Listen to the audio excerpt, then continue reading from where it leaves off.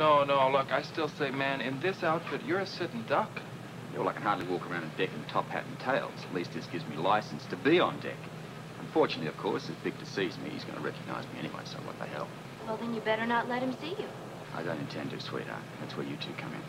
You're going to keep watch for me. Okay.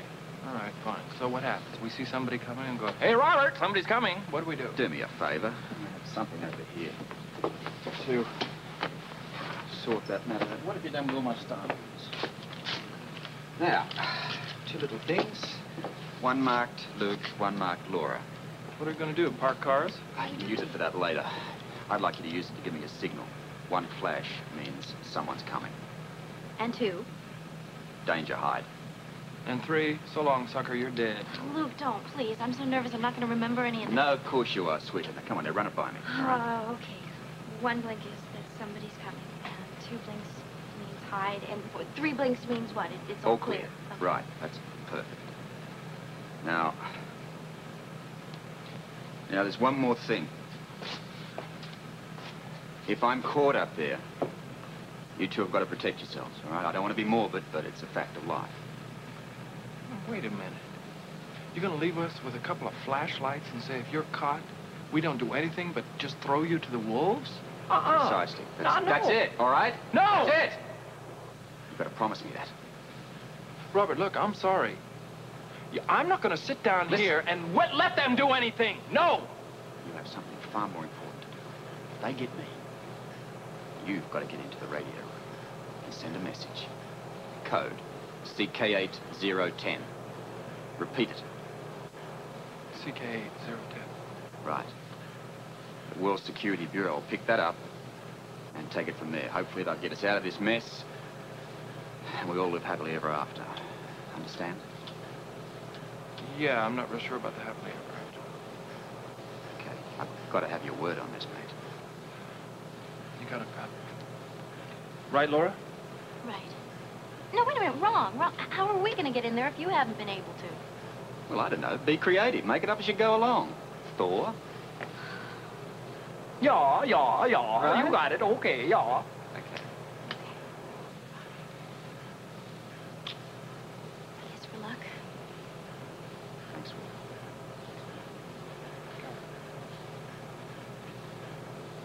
Ready? Ready? Ready? Ready? Ready? Let's go. Yeah.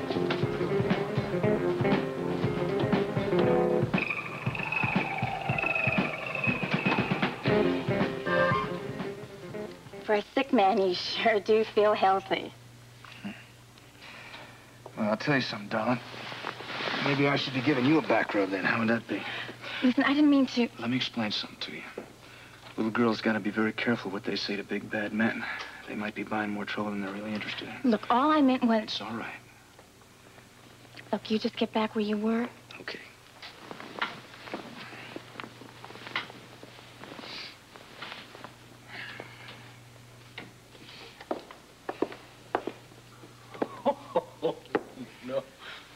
No, go on. Just roll right on over and let me get on there, too. I'll have one, too. Patience only. Patience only. Now, if you wish to get sick, I'd be only too happy to oblige. Uh, no way. I don't think so. Uh, you don't know what you're missing, Joe. Well, maybe not. it sure looks good, but I don't think I'd be a, an ideal patient like some people. Hey, oh, yes. Perfect patient. listen, I'm not complaining, you know. It's like it's about as close to heaven as I'm likely to be getting, you know, especially after the hell I've been through. Listen, uh, I hope you're here to tell me that I'm not going to have to be going back, right? Maybe we can, uh, we can sure hope, huh? Uh, I'll go get your pillows. Hmm. Stacy. Yeah, this is the life. Stacy, come on. Oh, Amy. The shift ended 15 minutes ago. Oh, I lost all track of time. Oh, Well, I want to get to the disco, and if you want to come with me, come now. yeah, okay, sure. You going to the disco? Yeah, you want to come? Well, no, I was thinking more if you, you could stay here and we could all four of us have a party here. All right. Ah, thanks, Joe, but I'm pretty particular who I party with. Come on. Okay. Night, perfect patient. Night, Joe. Amy, listen, I know it's hard for you to deal with me. I understand that. But please, I really am interested. How's your sister? Have you heard anything about her? No, nobody's heard from her. But you can trust me, Hutch. Wherever she is, she can take care of herself.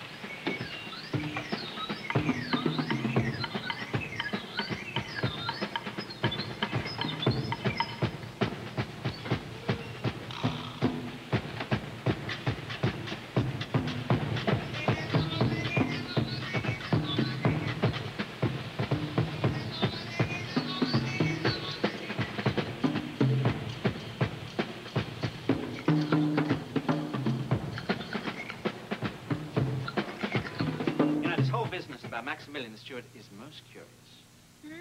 First, I find the steward standing outside the radio room, carrying absinthe, by the way, Maximilian's favorite. You don't say that. Yes, that steward was a bit edgy. Who?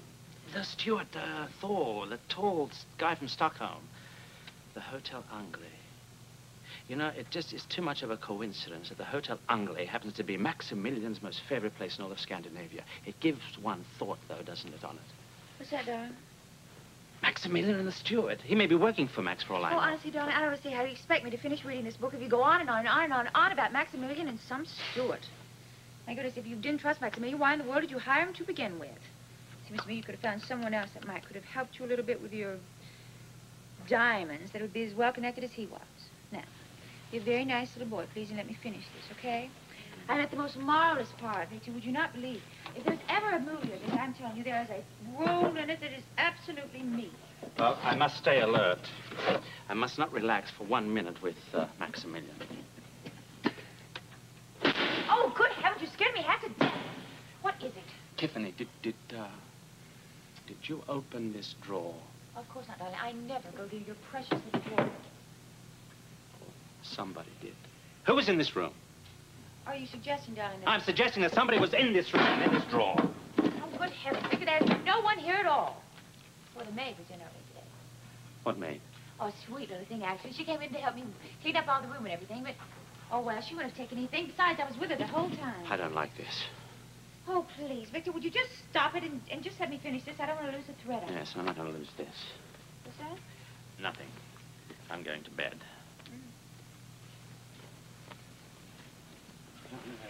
Oh, oh, Victor, please. Oh, honey, before you go to bed, would you do your job, please, and, and set the alarm out door, waking the music? Yes. The morning's half over by the time you get up. No, don't be such a grouch. Set it for ten, would you, please? I don't. No, no, no, no, make it eleven. I don't understand how you uh, sleep in so late, Tiffany. I always wake up automatically every morning at seven. Oh, well, don't I know? Uh, you don't try to be very quiet about it either, darling. takes me ages to get back to sleep. Oh well, I'm terribly sorry that I disturbed you. No, you're not. I think, oh, you just bang around this room all morning trying to wake me up. No, I don't. You're half dead to the world by then. Oh, just please set the alarm, won't you, darling? All right. But I still think it's much better if you got up earlier. What about my beauty sleep? I need my beauty sleep. Yeah, that's right. Mm-hmm. I keep on telling you. You don't need it. Mm, Victor, sweetheart. Oh, please, honey, just a few more pages, okay? Oh, Victor, this book is so good, Will. Mm. Now, Victor, please. Don't find me that excited. Oh, darling, but it is. You just would not believe how good this book is. I really want you to read it, okay? Mhm. I think you'd really... Mm. Oh, darling, I think you'd enjoy it. Please, just a couple of more pages. Oh, Victor! Oh, oh Victor, darling, please, honey. Okay, a couple more pages. Okay, just a couple more pages. Well, I think I'll wait for the movie.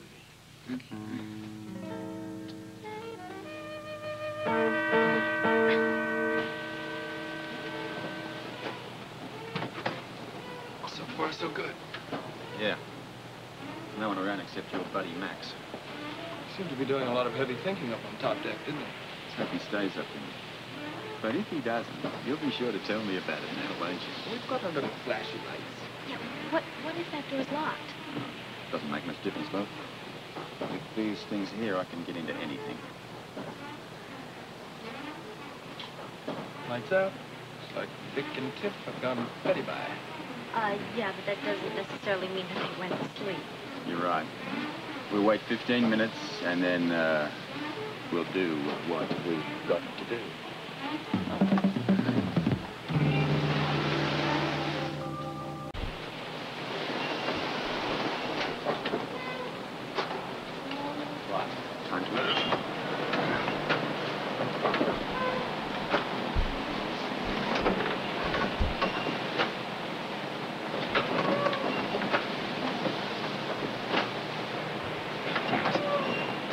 Matter?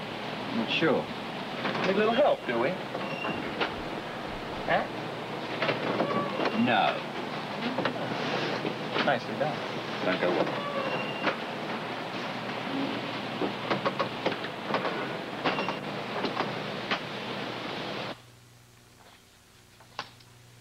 Man, you should have gone to the disco with the chicks. It's a lot after I came all this way to see you. I'm real glad you did. I'm sorry I couldn't get here a little sooner. Hey, it's okay, man. Like I knew you'd be showing up when you had something to tell me, right? So listen, uh, stay cool, relax. I'm the one who should be telling you that. Well, if you did, I wouldn't believe you. I saw your reaction when I talked about going back to the joint. It's bad news, huh? No, it's not exactly bad news. Of course, it's not good news either. I, it's, I just don't want you to get your hopes up too much too soon. Well, it's kind of hard for a man not to dream when he's been living a nightmare. I know, man, and I, I wish I could change that all for you. But, but, But the parole board has been dragging its feet. Not just on your case, on everybody's case. so you couldn't budge him. Hutch, it's beginning to look like uh, they may not come to a decision before you're ready to leave this place.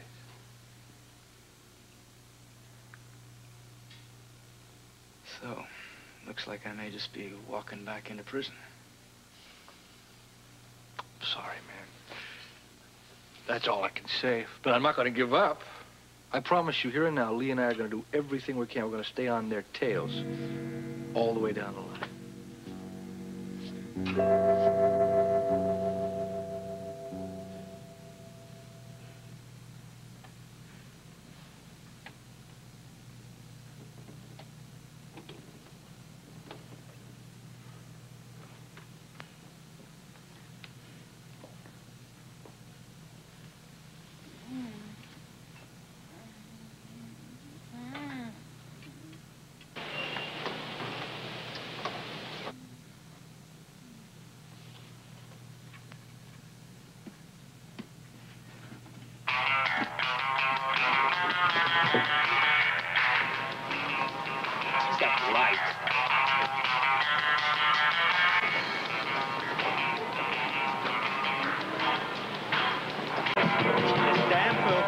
Get up like most sensible people do, you wouldn't have to rely on this stupid machine. Oh, Victor, I'm sorry, honey, but you set it for, for 11 p.m. rather than 11 a.m. I shouldn't have to set it at all. I wish you'd just get up with the sun. I'm so sorry, but it's so funny. I don't see any humor in being blasted out of bed by this ungodly rock and roll. Oh, no.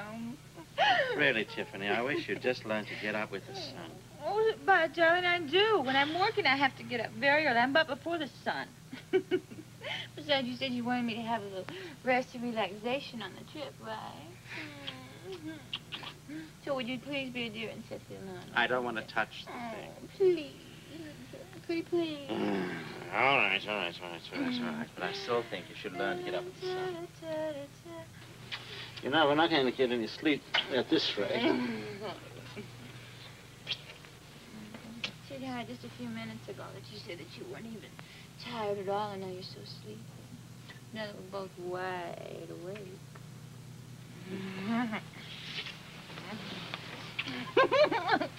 I knew that'd get you. oh, Victor, darling. oh, baby. Give me your hand. What is going on in there? I don't know. The light's off again. Do you think Robert's okay? We'll have to assume he is. Oh, I hope he doesn't get caught. Yeah, I know. Nothing we can do now but wait. Hello? Hello, hello, hello. I'm very sorry that we're late. Well, actually, I shouldn't apologize because it wasn't my fault. Did you save us some pizza? Uh, why did you say you were late? Stacy, playing Florence Nightingale again. We went to Amy's to change. Oh, yeah, You know, you never know what you're going to find when you go home these days. I walk into the house, and there's Rick with the biggest shiner I have ever seen in my entire life, and Leslie running around trying to take care of him. A black eye? Yes. Can you imagine Rick Webber with a black eye? No, you should have seen it. Apparently, they stopped off at some dive after the clinic closed, and some guy named Lutz, of all things, punched him. I was afraid something like that was going to happen. The mood Rick was in, he was going to take on the world. Yeah, it looked like he took on Lutz. Lost. Wait a second. You know who this guy is? We know about it. Well, would you please tell me then? Oh, honey, it is such a long story. Why is it that I'm always the last one to find out everything? Oh. Right here. You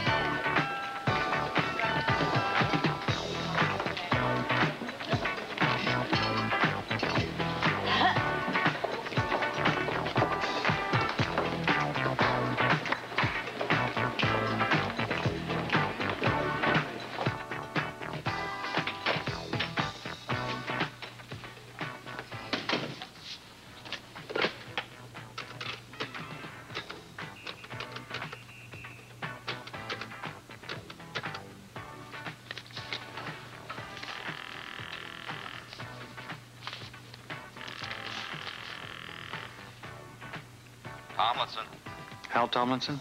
Speaking. This is Alan Quartermaine. I'm calling you from Port Charles. Quartermaine? Yes, my father suggested that I get in touch with you. Mr. Quartermaine. Yes, how is he? He's fine, thank you. Great guy, your father. Anytime I can do anything for Mr. Quartermaine, I'll be very happy. Well, actually, I'm not calling you on his behalf. Um, this involves a personal matter. I see. Look, I don't even want to discuss it with you on the phone, and my schedule prevents me from getting away right now. Well, I'd be happy to come to Port Charles, Doctor. Just name the day. As soon as possible. Uh, how about tomorrow? Is it convenient? Tomorrow would be terrific. Say about 3 o'clock. Absolutely fine. Look, when you get here, just call me at General Hospital. We'll arrange a meeting. Dr. meeting. Quartermaine, about this deposit slip. Hang on. I'm on the phone. Oh, excuse me. I'm sorry. Wait a minute. I'll be with you in a minute. Is that all set with you, then? Yes, 3 o'clock.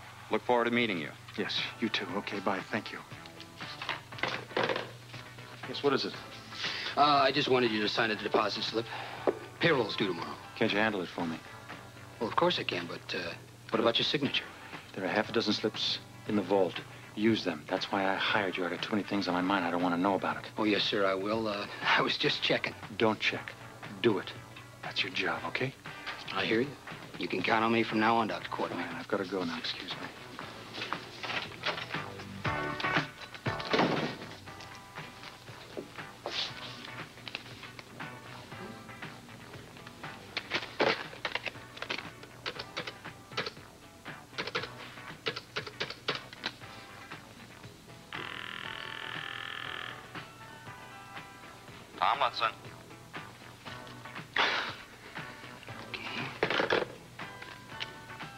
Good. You can count on me.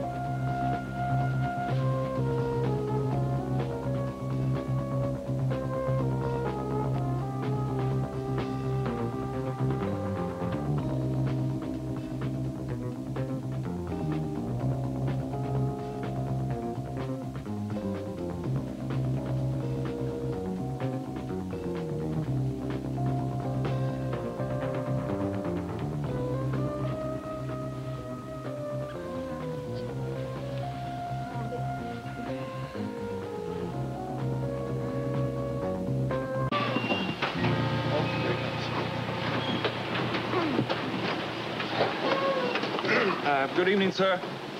Uh, yes, I'm sure it is. Perfect night to enjoy the stars. Uh, sir, I... Uh... No need to explain. I didn't see a thing. Do go on doing whatever it was that you were doing. Thank you, sir. Thank you. That was close. Everything's cool. It's cool. Don't worry about it. Is he gone now? Give him one more minute, then I'm gonna signal Robert.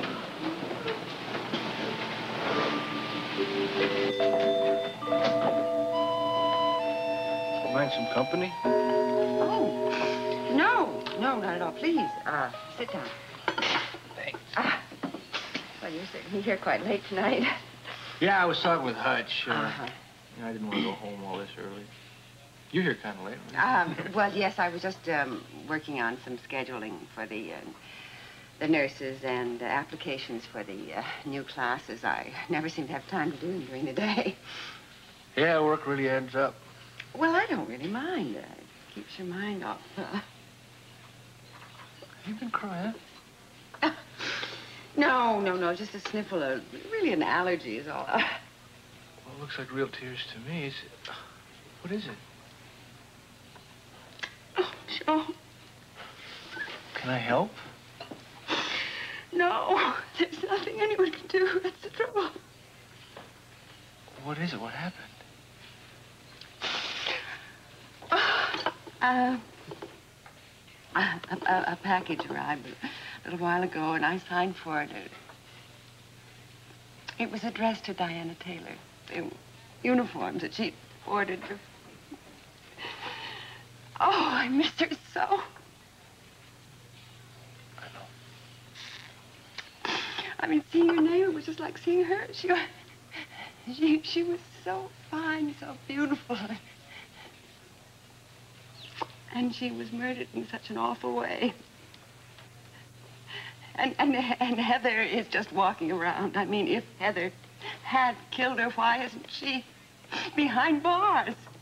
Hmm? And Anne, oh, Anne, she's so frightened of Heather. Oh, I don't understand how someone who, who must have been as insane as she was to have done something like that can, can be walking around the streets. I don't understand. I don't understand any part of it. And Diana's gone, and there doesn't seem to be any justice.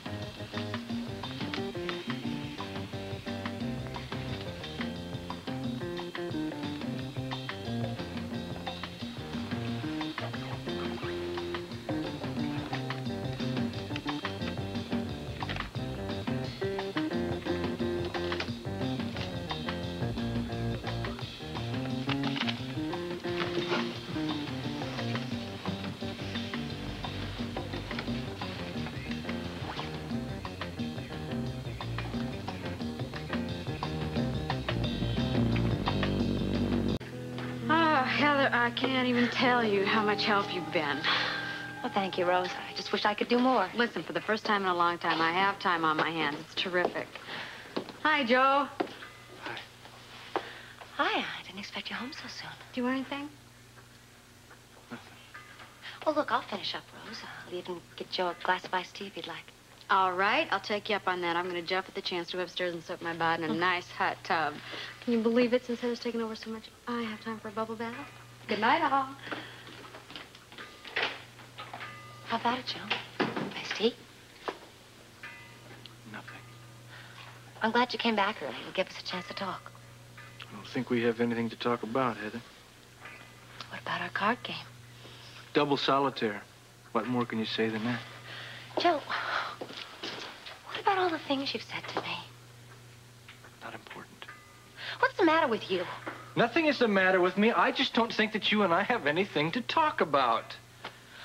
What is it with you? How can you say that to me? You act like you hate me, yet the other night. I- I don't think it's worth talking about. Isn't that clear enough? Well, I do. I don't know what to expect from you. Then don't expect. Anything. How can you say that? You say you're my friend, and now you act like you hate me. I think you're imagining that. Wait. Don't just walk away from me like that. It's not fair. What is fair with you, Heather? Uh, I don't want to fight with you. You're pulling away from me again. You act like I'm poison. Yet tomorrow you'll want to kiss me again. Look, Heather. Look at me. I'm the same person I was the other night. I haven't changed. Why are you acting this way? Why can't you be yourself with me? Because I don't know who myself is I when do. I'm with you. I do. But you run hot and cold. Your feelings change from moment to moment. You're not being true to me. You're not being true to yourself. What is true to you, Heather? And I don't owe you an accounting for anything I say or think or feel. Joe. But since you are so imbued on the idea of finding out what makes Joe Kelly tick, he will tell you in terms that you can understand. I hope you can understand. I have a job to do. Do you see that? And that comes before everything, Heather. Even before my feelings for you. Do you have any idea how hard that is? Can you understand that? Oh, sure, Joe. I know what your job is. Your job is to convict me. To find me guilty of Diana Taylor's murder. Well, I'll tell you what I think of your job. I think it's a lousy job, and I feel sorry for you. You call yourself a lawyer? You're supposed to protect people like me. You feel so sorry for your friend in the hospital. Well, what about me? Instead of convicting me, why don't you protect me from all the people who think I'm guilty? Heather, I If you just been- want to be my friend once in a while, when you feel like it, then I don't want anything to do with you at all.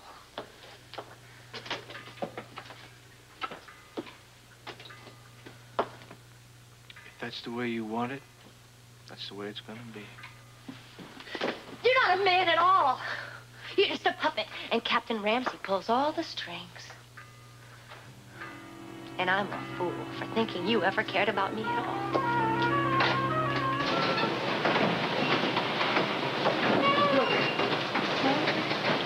Relax. Should we warn Robert? No, not as long as he stays at that end of the deck. Look, what could be taking him so long? Oh, I don't know what the hell he's doing in there. Come on, Robert.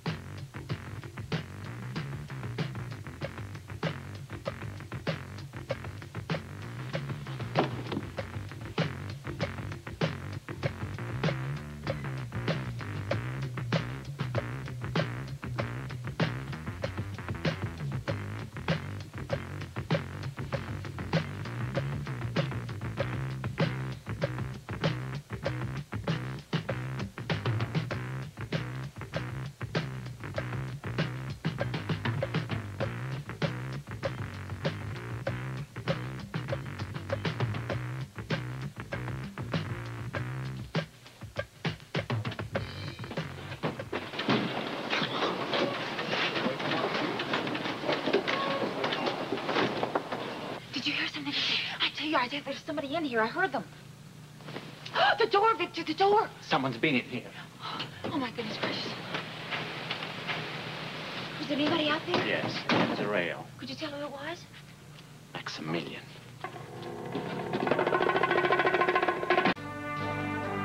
Tomorrow, Jack and Janet become daffy detectives to solve the case of the missing blonde when Cindy vanishes on Three's Company. And on It's a Living, the girls gang together to get Nancy off the unemployment line.